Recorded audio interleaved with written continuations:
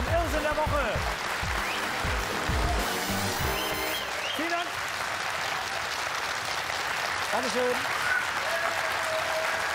Herzlich willkommen, liebe Zuschauer. Ja, die Woche war wahrlich nicht arm an Irrsinn, aber das aller, aller Irrsinnigste war in meinen Augen zweifellos die, ja, ich sag mal, äh, englische Rede unseres Entwicklungshilfeministers Gerd Müller beim Global Citizen Day. Hey, what a, what a party. Let's change the world.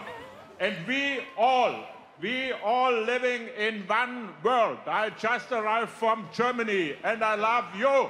I'll be love here to be with you. I love you all. Thank you.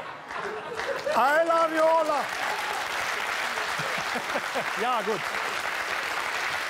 Er war halt auch dem Altsprachlichen.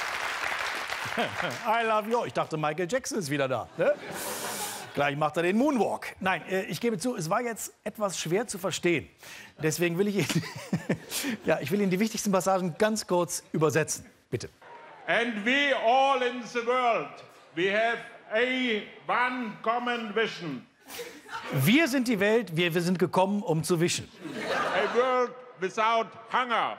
Wir wollen eine Welt ohne Hangars. That's what the message of the German Chancellor, Angela Merkel. Wie kann man das sagen? Jetzt watch, jetzt let's watch. äh, Ähm, wir kriegen alle Watschen von Angela Merkel. Gerd Müller, was für eine Karriere!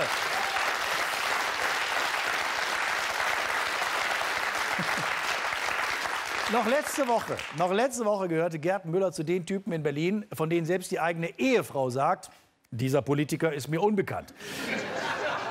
Jetzt spricht alle Welt über ihn. Und ganz ähnlich ist es einem Spielplatz in Bad Segeberg ergangen. Auch diesen Spielplatz kannte bis vor kurzem keine Sau.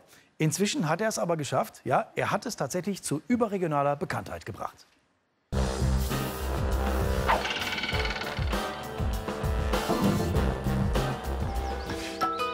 Eigentlich haben sie es nur gut gemeint.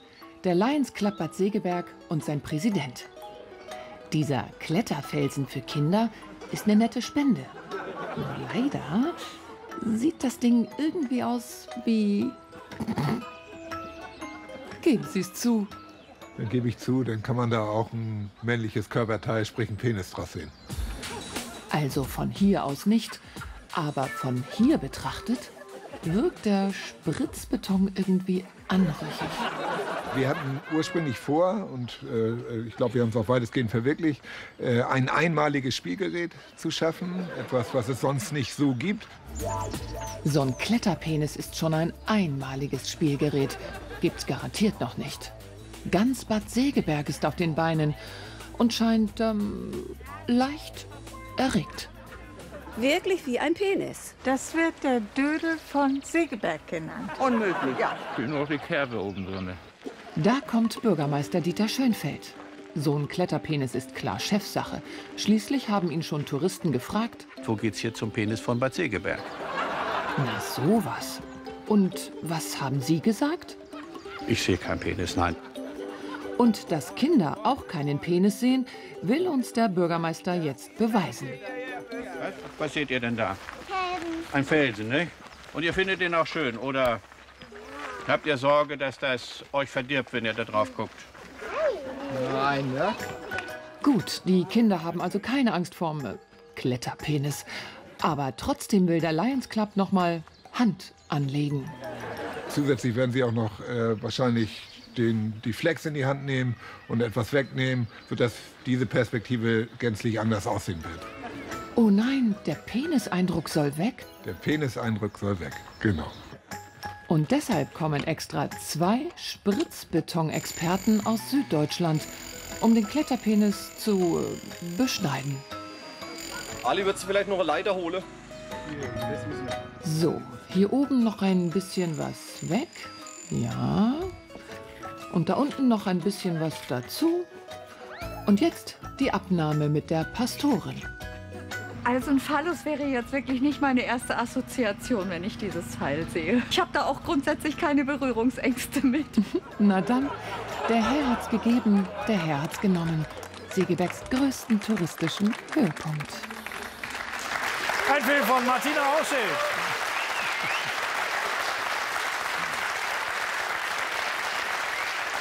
Von einem Skandal geht es zum nächsten Skandal, auch wenn man die Skandale nicht sofort miteinander vergleichen kann. Jetzt habe ich sofort gesagt. Wir fangen nochmal an mit Applaus. Komm, noch einmal. Einmal. Die Zeit haben wir jetzt auch. Ja, so. Von einem Skandal geht es sofort zum nächsten Skandal, auch wenn man die Skandale nicht so miteinander vergleichen kann. Es gibt wieder mal einen Geheimdienstskandal in Deutschland. Inzwischen haben wir ja Erfahrung damit. Und wie wir jetzt lernen mussten, hat die NSA unseren armen BND hemmungslos benutzt. Jawohl, benutzt und missbraucht. Ja, man muss es so formulieren. NSA und BND arbeiten ganz eng zusammen, ganz, ganz eng. Sie arbeiten so eng zusammen. Es gibt schon eine neue Image-Kampagne. Hier. Wir sind eins. NSA und BND. Sie sind natürlich ein ungleiches Paar. Machen wir uns nichts vor, der BND sollte einfach liefern. Der war das Zalando.de unter den Geheimdiensten. Haben die Amis erwartet. Und dem BND-Chef Gerhard Schindler ist die Sache deshalb auch einigermaßen peinlich. Hören Sie mal genau hin, wie er auf die Frage reagiert, ob der BND Daten an die NSA weitergegeben hat. Haben Sie Daten an die NSA weitergegeben? Ich würde mal Folgendes vorschlagen. Wir verlieren ein bisschen an Zeit. Hm? Und deshalb müssen wir uns jetzt auf den Weg zu den Antennen machen. Guck mal ein Eichhörnchen. Auf dem Weg zu den Antennen. Muss ich mir merken. Fakt ist, die Amerikaner wollten vom BND alles Mögliche wissen.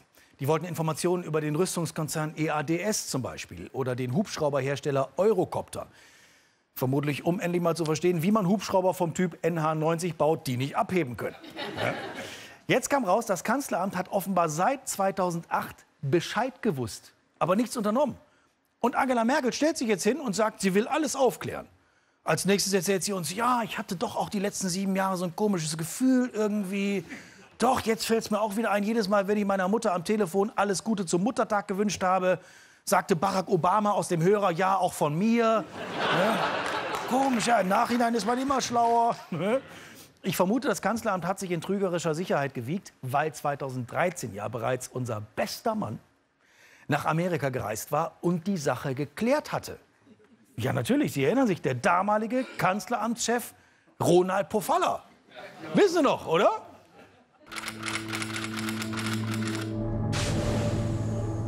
Ich weiß, was du vorletzten Sommer gesagt hast. Der Vorwurf der vermeintlichen Totalausspähung in Deutschland ist nach den Angaben der NSA, des britischen Dienstes und unserer Nachrichtendienste vom Tisch. Und jetzt habe ich einen schrecklichen Verdacht. Könnte es sein, dass die Amerikaner unseren Ronald Pofalla überhaupt nicht ernst genommen haben? Es hieß doch, er habe damals auf Augenhöhe Gespräche geführt. Also wahrscheinlich mit dem Hausmeister. Ne? Und trotzdem haben die Amis einfach weiter spioniert. Wie dreist kann ein Bündnispartner eigentlich sein? Wir haben dazu eine Umfrage in Auftrag gegeben. Ich begrüße nun unseren Statistikexperten Klaas Butenschön. Danke, Christian.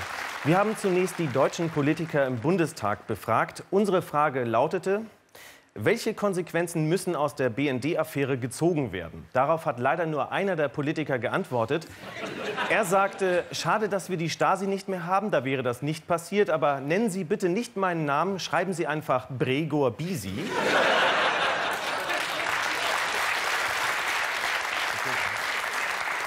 Ja, und äh, danach haben wir dann den BND befragt. Wir wollten von den Mitarbeitern des Bundesnachrichtendienstes wissen, wie konnte es eigentlich zu der Affäre kommen. Darauf sagten 21 Prozent, keine Ahnung, wir sind der BND, wir erfahren immer alles als Letzte.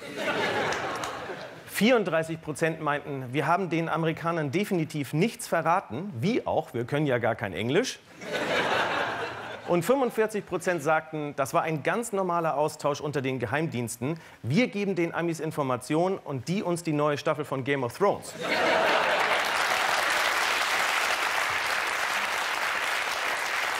Ja, und äh, zum Schluss zum Schluss haben wir dann den amerikanischen Geheimdienst NSA befragt. Wir wollten wissen, wie schätzt die NSA die Zusammenarbeit mit dem BND ein? Darauf sagten 19 Prozent BND, als Geheimdienst eine Niete, aber nicht schlecht als Telefonauskunft.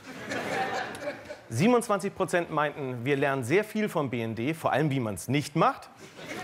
Und 52 Prozent sagten, wieso fragen Sie mich das am Telefon? Sie brauchen doch bloß in Ihre Blumenvase zu sprechen, dann antworte ich aus der Zimmerpalme.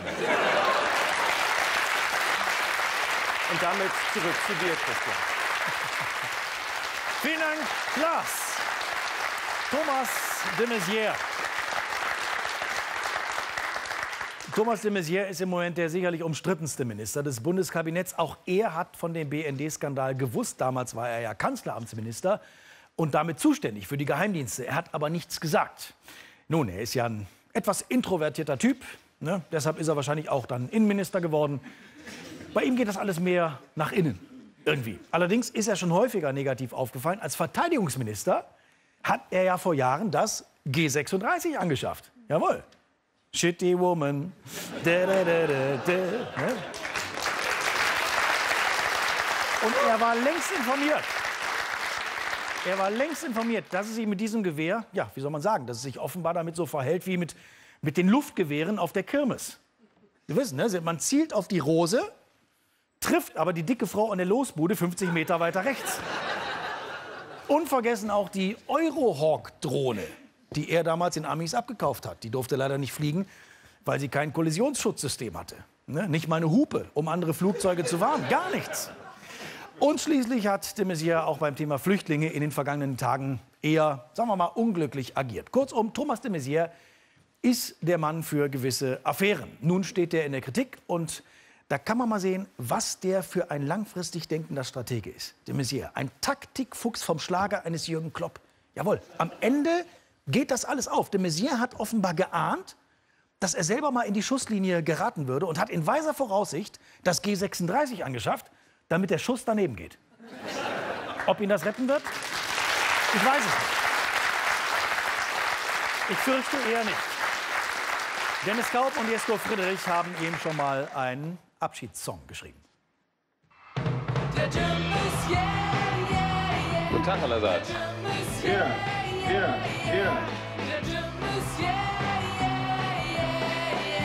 Wir haben mal bei einem Geburtstag einen Spieleabend gemacht und da haben wir, Mensch, ärger dich nicht, mal so richtig äh, die Sau rausgelassen. Nun Donnerwetter, du hängst. Du warst Chef vom Kanzleramt, Kontrolleur des BND. Hast du wirklich nicht erkannt? Uns belauscht die NSA und bei der Truppe hast du auch nichts hingekriegt. Das geht überhaupt nicht. Die Uschi hasst dich, doch das juckt dich alles nicht. Dein Ruf, den hast du schon mit nem Schiefgewehr verloren. Und die Sache mit den Drohnen, die flog dir um. Um die Ohren. Mr. Hardcore bei der Flüchtlingspolitik. Das ist auch gut und schön. Der Betonkopf, der jetzt auf die Mütze kriegt. Der Jim ist yeah, yeah, yeah. Der macht's unschwer, schwer, schwer. Denn wenn er aufklären muss, dann sagt er. Jetzt ist Schluss. Und zu dem ganzen Fusch bläst er uns einen Tusch.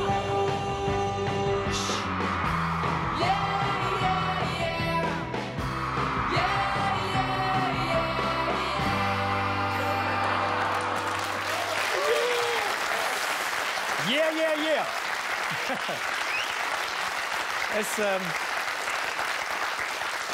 es knarzt nicht nur bei de Maizière. Insgesamt habe ich das Gefühl, dass bei der GroKo insgesamt so ein bisschen die Luft raus ist. Die Spitzenmenschen der Koalition haben sich die halbe letzte Nacht um die Ohren gehauen und am Ende so gut wie nichts Neues beschlossen. So gut wie nichts. Ist doch übertrieben. Ich würde sagen, es war überhaupt gar nichts. Sechs Stunden Koalitionsgipfel von Montag auf Dienstag waren absolut ergebnislos. Mindestlohn, Energiepolitik, Bund-Länder-Finanzen, all die wichtigen Themen wurden vertagt. Man könnte sagen, Berlin vertagt bei Nacht. Das wäre doch mal eine Fernsehserie. Auch der umstrittene Pflegetüv. Es, es gab keine Einigung in Sachen Pflegetüv. Die Union möchte ihn ja abschaffen, die SPD doch noch behalten. Die deutschen Pflegeheime, Sie haben es mitbekommen, äh, sind ja jetzt ge geprüft worden und haben bei diesem Pflegetüv hervorragend abgeschnitten. Ja, überwältigend. Die Gesamtnote war 1,3. Toll. Hat aber damit zu tun, dass man bei der Bewertung von Heimen verschiedene Kategorien gegeneinander aufrechnen kann. Das hier zum Beispiel. Da fließt die fachgerechte Wundversorgung genauso ein wie die attraktive Gartenbepflanzung. Ja, ist so. Und eine schlechte Benotung beim Kriterium sachgerechter Umgang mit Medikamenten kann ausgebügelt werden durch einen sehr gut lesbaren Essensplan. Außerdem fließt die Befragung der Bewohner nicht in die Gesamtnote mit ein. Kurz gesagt, man fällt eher beim NRW-Abitur durch als bei diesem Pflegebenotungssystem. Ich glaube sogar. Ich glaube sogar, wenn man diesen Kriterienkatalog auf Strafgefängnisse in Nordkorea anwenden würde, die würden sogar mit 1,0 abschneiden. Warum es in deutschen Pflegeheimen so falsch läuft, das kann uns eigentlich nur ein Mensch beantworten.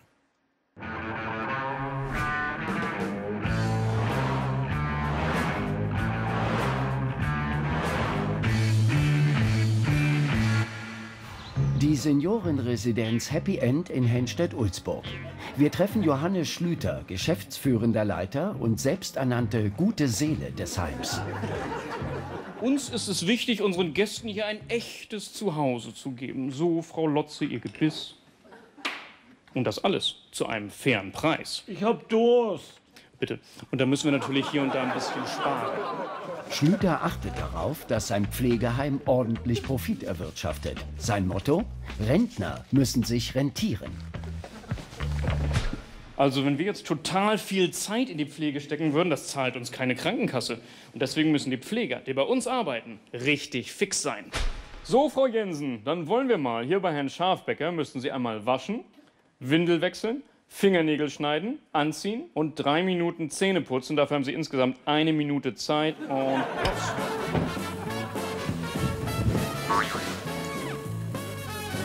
Und stopp.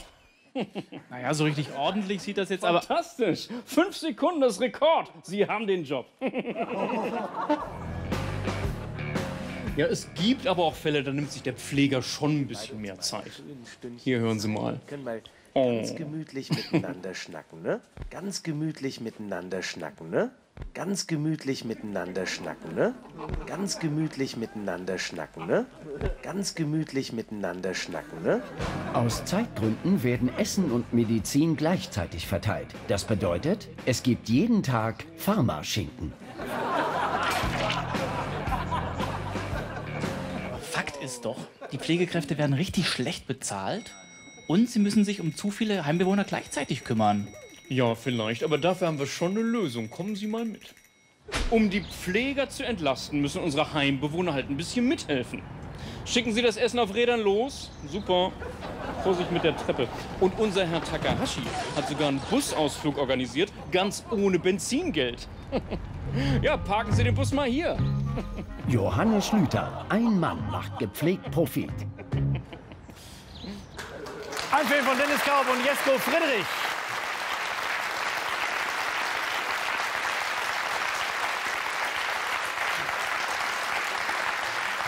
Früher war das alles überhaupt kein Thema. Pflege, das hat früher die Familie übernommen.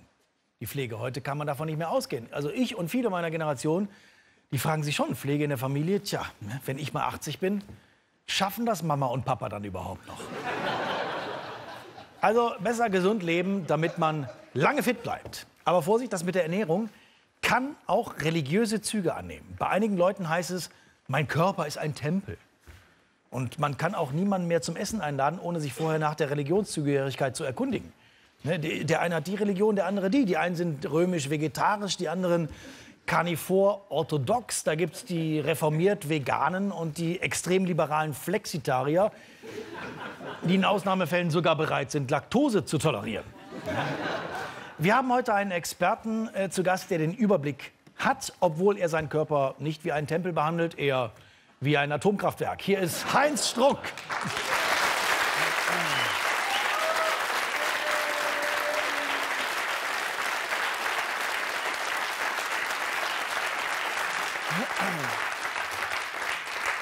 Die Frage nach der vermeintlich richtigen Ernährung ist zu einer hochemotionalen Angelegenheit geworden. Ideologisch aufgeladen, sie trägt geradezu militante Züge. Rohkostler gegen Pizzafans, Slow gegen Fastfood. Besonders unversöhnlich stehen sich Vegetarier und Fleischfresser gegenüber. Hack- und Innereienliebhaber werden als gefühllose Sadisten diffamiert. Umgekehrt Makrobiotika als humorbefreite Körner-Nazis verspottelt. Für Veganer ist sogar Milch- und Butterteufelzeug. Sie ernähren sich ausschließlich von Pflanzen. Eine noch extremere Spielart sind die Frutarier, die ausschließlich Früchte essen, aber nur die, die der Baum freiwillig hergibt, also sogenanntes Fallobst. Frutarier halten Veganer für Mörder, denn auch wenn die Pflanze keinen Mund hat, um zu schreien, erleidet dieses hochkomplexe Lebewesen unfassbare Qualen, wenn man es zerhackt, zerrupft, zermalmt und bei lebendigem Leib in kochendes Wasser wirft. Was ist denn nun richtig? Trennkost, Rohkost, Schonkost, Kompost? Schauen wir uns einmal die sogenannten Orthorexier an. Zu Deutsch die von gesunder Ernährung Besessenen. Wurst, Chips, Käse sind ebenso wie Fett, Zucker und Salz längst vom Speiseplan gestrichen. Döner und Pommes als wörtlich Sterbensmittel verpönt. Acht Liter stilles Wasser sind ebenso Pflicht wie die tägliche Darmreinigung. Babys bekommen keine angeblich verseuchte Muttermilch, sondern in Wasser eingeweichte Puffreiswaffeln. Frage an Sie, klingt das gut? Aber andererseits, wer ungehemmt fettiges Industriefleisch in sich reinstopft, leidet meist schon in jungen Jahren an galoppierender Adipositas. Anders gesagt, Alarmstufe, Rahmstufe. Wir alle kennen die Schockbilder, wo Halbwüchsige unter der Last mannsgroßer Wopper zusammenbrechen oder Teenies ihren zarten Kindermund so weit überdehnen, bis selbst ganze Sparmenüs mit einem Haps verschluckt werden können.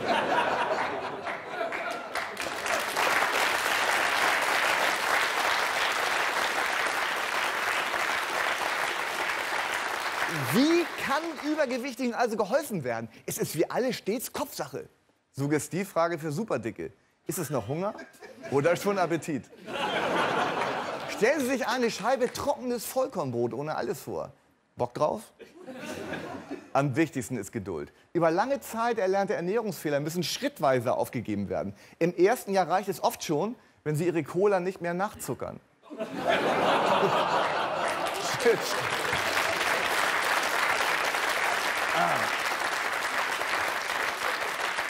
Schritt 2.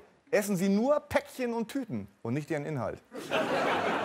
Zum Schluss ein Ausblick auf die nächsten großen Ernährungstrends.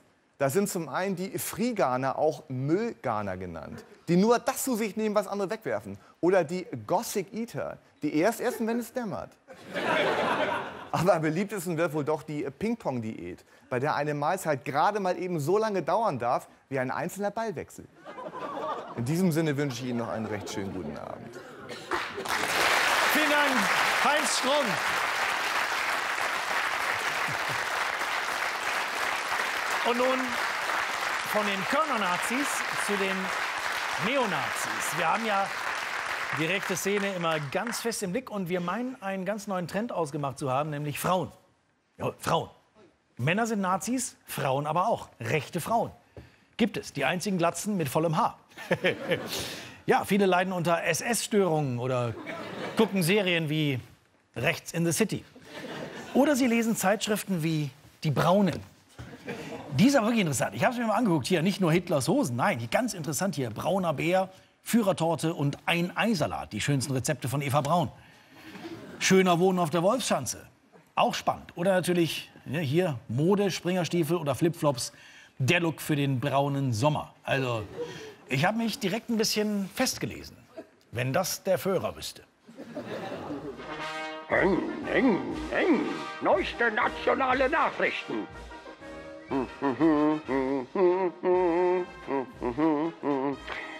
Ich hatte ja gerade Geburtstag. Und zur Feier des Tages habe ich mir ein paar Videos in diesem Weltnetz angeguckt. Dabei bin ich auf diese gesinnungstreue Kameradin von der Tygida gestoßen. Hallo, hier ist die Melanie Dittmar von der Tygida. Hallo, hier ist der Adolf Hitler von der NSDAP. Frau Dittmar, Herr Dittmar, dann singen Sie mir doch bitte mal ein Ständchen gegen diese Überfremdung des Abendlandes. Aufstehen, rausgehen, unbequem, die Wahrheit sehen. Get up, stand up. Hottentottenmusik? Was hat das Mädel sonst noch zu sagen? Für mich ist es völlig unerheblich, ob es den Holocaust gegeben hat oder nicht.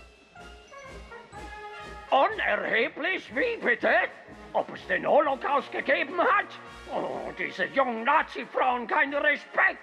Kann ich dann zumindest noch mal den ersten Ausschnitt sehen? Knickknack. Hallo, hier ist die Melanie Dittmar. Mhm. Danke. Dann dürfen Sie jetzt auch das Schlusswort sprechen. Wahrscheinlich seid ihr für viel mehr als das, wofür ihr gegen seid. Für viel mehr als das, wofür ihr gegen seid? Sie Sprechdurchfall, Evolutionsbremse, Montagsnazi, 16 zu 9 verweigern, Bumsbirne, wegtreten!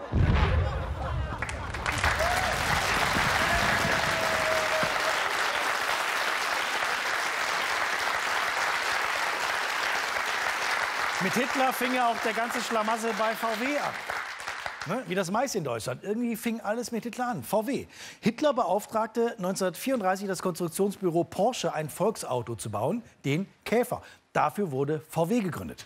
VW wurde am Anfang von Ferdinand Porsche geführt, zusammen mit seinem Schwiegersohn Anton Piech. Der ging dann aus der Geschäftsführung raus und gründete nach dem Krieg die Autofabrik Porsche. Der Sohn von Anton Piech, Ferdinand Piech, wiederum ging von Porsche wieder zu VW, während sein Vetter Wolfgang Porsche später versuchte, VW zur Tochtergesellschaft von Porsche zu machen, was aber scheiterte, sodass VW am Ende die Mutter von Porsche wurde. Das heißt zusammengefasst, der Vetter vom Sohn, vom Schwiegersohn, wollte die Mutter zur Tochter machen. Solche Familienstrukturen kennt man sonst nur aus dem Emsland.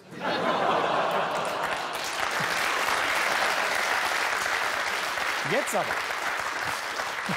Jetzt hat Ferdinand Piech den Kampf um VW verloren. Es hätte niemand für möglich gehalten, dass der Mann mal geht, der skrupellose und knallharte Patriarch. Man sagt ja, dass der früher bei jedem Wagen, der vom Band gerollt ist, das VW-Logo eigens mit seinen Schneidezähnen ins Blech gebissen hat. Ja, ich glaube, ich weiß jetzt auch, wie die Punkte über dem E bei Piech entstanden sind. Ja, klar. Übrigens, viele Roboter sollen ja geweint haben, als Piech seinen Rücktritt erklärte. Er war immerhin einer von ihnen. So, das war's auch schon von uns. Jetzt kommt Zapp. Vorher, wie immer, natürlich neulich im Bundestag von Jens Böttcher, Carsten Deutschmann und Henrich Sperling. Bis nächste Woche oder wie es unser Entwicklungshilfeminister sagen würde. I love you all. Thank you. Guten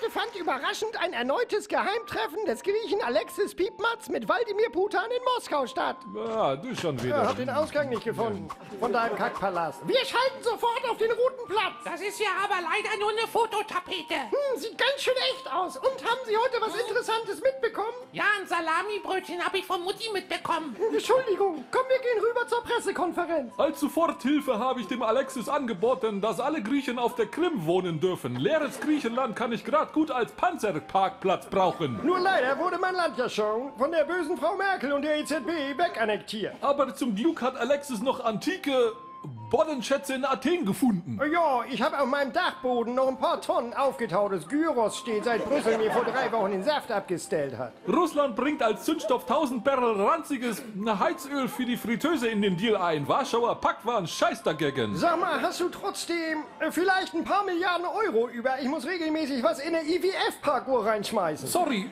bin selber pleite, aber ich kann ja heute Nachmittag mal den Snowden an die Amis verticken. Sehen Sie im Anschluss die Heimwerker-Serie, wie man als Psychopath ein ganzes Land renoviert. Heute Irak. Studiogast ist Dick Cheney.